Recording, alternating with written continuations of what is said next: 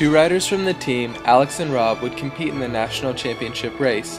Team alumnus and supporter Matt Johnson would fly out with the guys to provide support. Thursday morning, Alex and Matt would fly out from GSP to Salt Lake, pick up the rental car, and check into the hotel. This is where our national story begins. Support staff Matt Johnson offers to carry the bikes to the hotel. What a nice dude. Shimano was on hand at the official race hotel to assist with bike mechanics. We took advantage of their service. Thanks Shimano for uh, for getting my bike ready and uh, lending me the uh, the pedals. Gotta thank Shimano for putting my bike together for me and helping us out. After bike assembly, Alex went on a three-hour ride to preview the course with two Minnesota riders he found leaving from the hotel. The next day, Alex and Matt would go rock climbing, then pick up Rob and go for another ride. Matt Johnson, how you doing? Doing good. What are we doing? Doing a uh, rock climb up, up this crack right here. All right. Uh, any reason or just recreation, just kind of fun? Uh, just for kicks and giggles.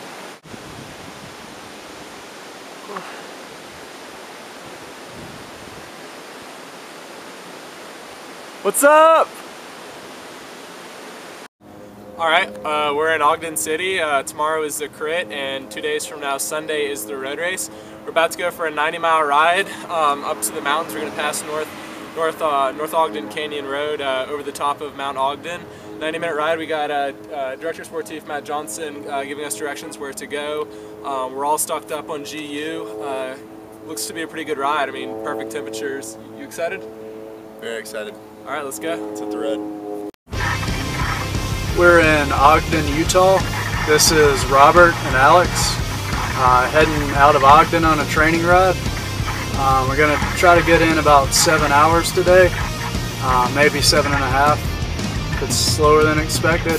Um, going to hit some of the climbs in the Nationals road race. I'm Director Sportif Matt Johnson. Um, I'll be providing directions with my Ogden map and also uh, feeds and bottles.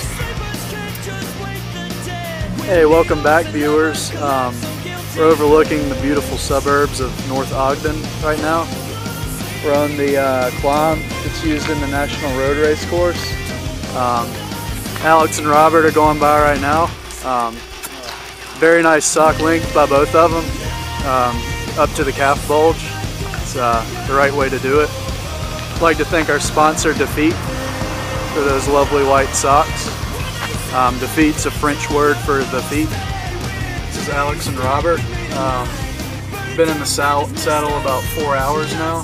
This is their uh, third repeat of the Nationals road race climb. Um, both of them are pretty tired, but going at it pretty hard still.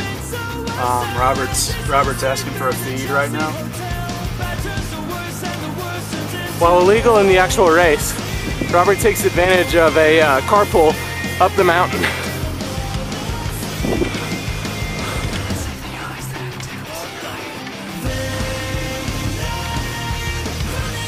Rob, on the big climb, what are you feeling?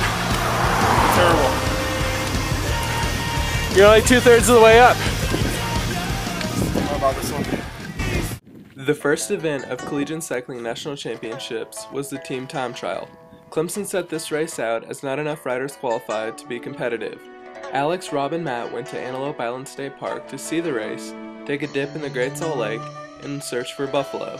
While on the island, they also free climbed to the top of a big peak. The day before the men's road race, the riders head out to Antelope Island to consult the Great Buffalo. An Indian prophet we talked to told us that in order to win, we must seek out the Great Buffalo and seek their wisdom. Here we have found the buffalo, and sensations are good for the win. So Alex, where are you right now? Uh, on the top of a pretty big uh, boulder cliff. I don't know what you would call it. Uh, on Antelope Island State Park. Pride Rock. Pride Rock. So, It does look very high up. It's extremely high. What are you guys doing up here?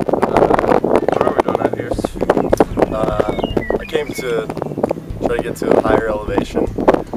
Uh, just open up the lungs. Acclimate.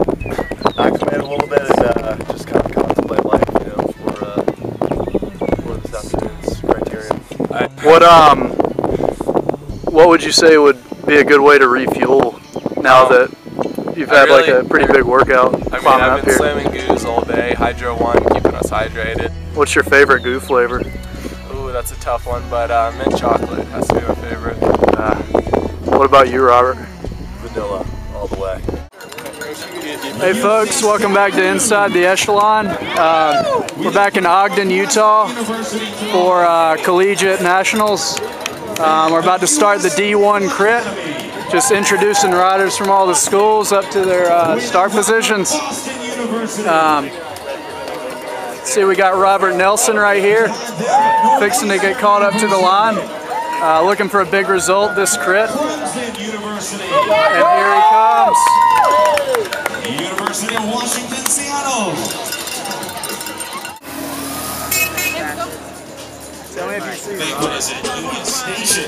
This is the first lap coming through. There's already a break off. Rob is just in the field. It's hard to tell with his camo kit.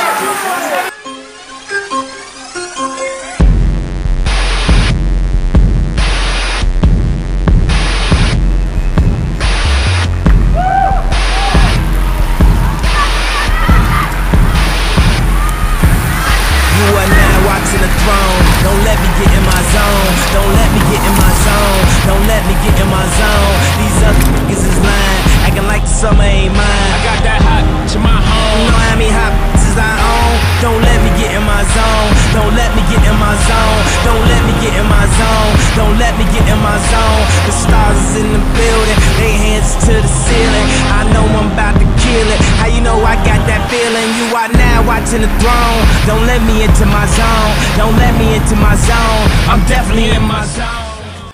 Only Rob would start the criterium. The eight corners and huge field did not suit Alex, so he would save it all for the road race. Rob had been suffering from a bad cold, but after copious amounts of medications, he decided to start. All UCI legal, of course. The race was fast from the beginning, and Rob was not having good sensations, so he said his goodbyes to the field and left. The race came down to a sprint, and a Colorado rider won. You are now watching the throne. Don't let me get in my zone. Don't let me get in my zone. Don't let me get in my zone. These other acting like the summer ain't mine. I got that hot to my home. You know how many hot Liz bitches I Don't let me get in my zone. Don't let me get in my zone. Don't let me get in my zone. Don't let me get in my zone. The stars is in the building. They hands to the ceiling. I know I'm about to kill it. How you know I got that feeling? You are now watching the throne. Don't let me into my zone. Don't let me into my zone. I'm definitely in my zone.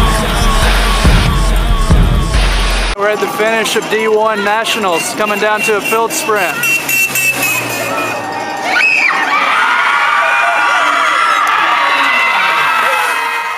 So Alex, how long's the race today? 78 miles, 125 kilometers. Robert, how are sensations for you? Uh, pretty good considering I uh, didn't get much race time in yesterday. It's a long race. Um, how do you plan to refuel your body? Well, I've got about uh, five delicious goos in my uh, back pocket right here. Oh, really? I've got a strawberry banana, I've got some vanilla bean, um, and uh, some jet blackberry. Two times the caffeine, two times the uh, performance. A jet blackberry sounds like it would really hit the spot. Yeah, I like to call it jet fuel. What about you, Alex? Yeah, same sort of deal. I have a few goos. Uh, I have some GU, uh, GU energy mixed in the, in the bottle, and uh, I don't think I'll need too much refueling. The uh, Smith Optics keep all the UVA, UVB rays out of my eyes. Helps Uh. me conserve energy. Alex and Rob expected the road race to come down to a field sprint and raced accordingly. Normally, for a breakaway to get away, every team has to be satisfied, and with a 125 plus man field, this didn't seem likely. Well, the race did come down to a breakaway. Rob did his best to keep Alex safe for the final climb, but he could only manage the 51st place. Rob would come in later, around 95th. The 70 miles in crosswinds proved to be too much for Alex to do anything on the final climb.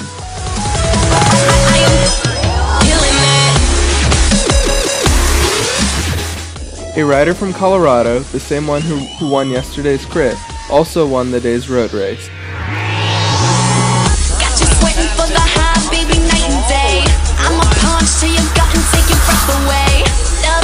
In a craze when you get a taste. I'm an earthquake, feel my rage till I get my way.